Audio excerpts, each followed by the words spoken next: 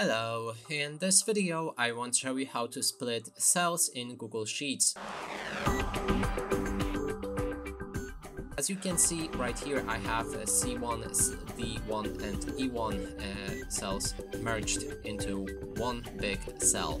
If you want to split them, just click on the button right here, merge cells, which should split all of the cells. And that's it for this video, hope you like it, please consider subscribing to our channel, leave a like and a comment below.